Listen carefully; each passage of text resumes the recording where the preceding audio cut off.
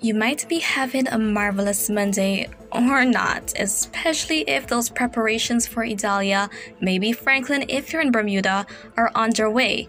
And so in this video, I'll be taking you guys straight through the latest expected from both of these systems. And as I have reiterated multiple times in previous updates, we could see Franklin being close enough in proximity to Bermuda to the point it actually induces tropical storm-like conditions.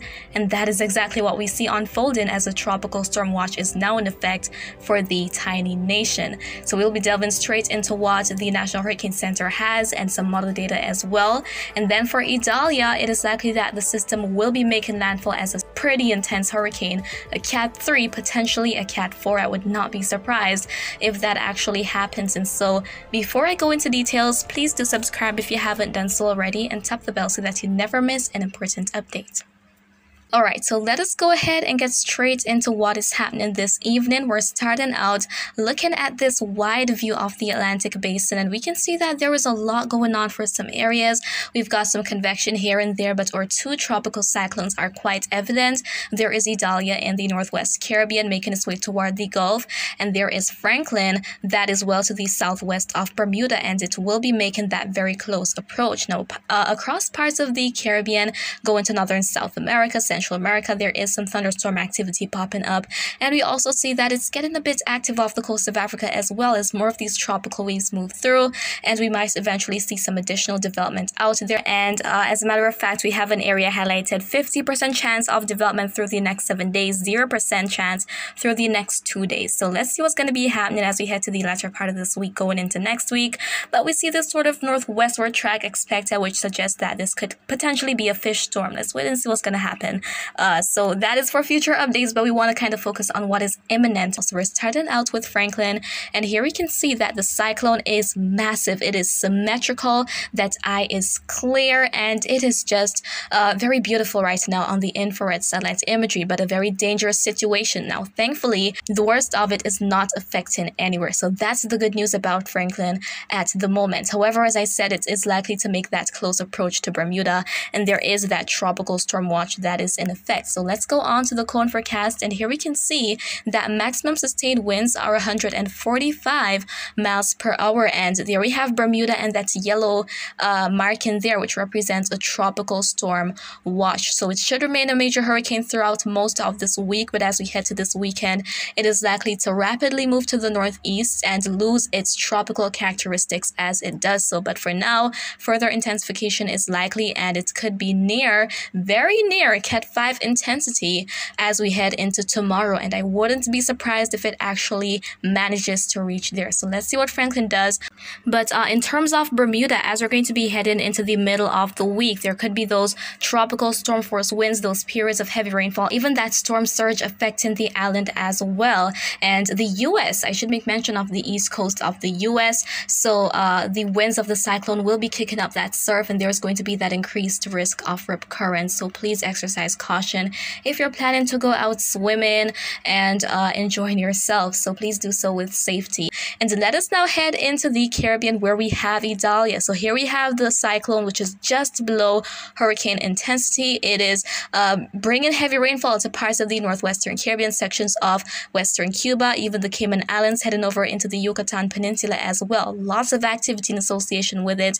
And we still have those watches and warnings in place. And new watches have been issued as a matter of fact. So let us go ahead and take a look at those. And so uh, going back to this map here, we've got that red area that is highlighted for parts of Florida as well as Cuba. That is a hurricane warning in effect. So in Cuba for Pinar del Rio and then in uh, Florida, the middle of Longboat Key northward to Indian Pass, including Tampa Bay. Those are the areas under a hurricane warning right now. And within that area in Florida, heading to the Big Bend area, that is where the worst of conditions are likely to be felt. As of right now, though, uh, Idalia is not yet a hurricane, as I pointed out earlier, but it could be gearing up to start its rapid intensification phase. Let's see what happens as we head into tonight and into tomorrow morning. But most of the state will be feeling some impacts or another from Idalia, and that explains why we see uh, over most of the eastern coast go into Georgia and South Carolina, there is that tropical storm watch, which is in yellow. The tropical storm warning is in blue. A hurricane watch is in pink. So most of the states will be feeling impacts, whether it be something as minor as just some intermittent showers here and there, or as major as those conditions that will be unfolding in the warning area. The very strong winds, the intense storm surge, which is that inundation of the coast caused by the winds of the cyclone pushing the water on shore.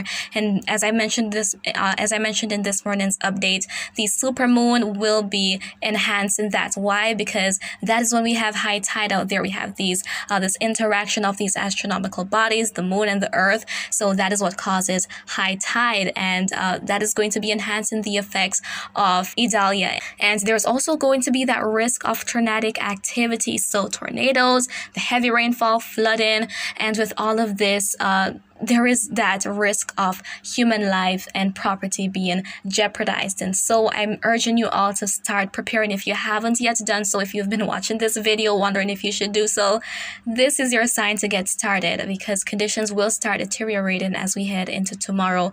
But uh, going back to the satellite imagery for the cyclone, it is likely producing dangerous conditions, periods of heavy rainfall, which have likely triggered flooding in parts of the Yucatan as well as for western Cuba, maybe even those landslides as well. So I hope that everyone is doing okay. And again, please ensure that you have your preparations underway if you're to be affected by this. And with these passing advisories, the National Hurricane Center keeps increasing the maximum intensity uh, expected rather of Idalia. Now those winds are likely to be up to 120 miles per hour. Those are sustained winds and wind gusts could be a lot stronger than that, up to 130, up to 140 miles per hour. But as I mentioned earlier, earlier this morning, I really think that this could become a category four hurricane. And uh, that is the, the reason for that is because nothing much is between Idalia and its strengthening because the conditions should be conducive enough, especially those anomalously warm temperatures, uh, those surface waters across the Gulf of Mexico. But once it moves inland, it will rapidly uh, loosen its status. Why? Because it is going to be cut off from its source of fuel and energy, but then it's going to be making its way across parts of uh, Georgia and South Carolina bring in those tropical storm conditions. Quickly looking at the model guidance, we can see here that these models are tightening up, these tracks are tightening up, which represents a pretty good consensus of where this will be making landfall. Exact location still unclear. Why? Because there could still be some shifts here and there. It's still some time out from landfall, but overall, it's this general area, the Big Bend, that will face landfall as we head into the middle part of the week. So I will keep you guys posted on all that is happening and all that is expected of the cyclone with my dual updates every single day. So I hope you found this video to be quite informative. But if you have any questions, please leave them in the comments. I'll respond to you once I get the chance to. And as always, remember to be weatherwise.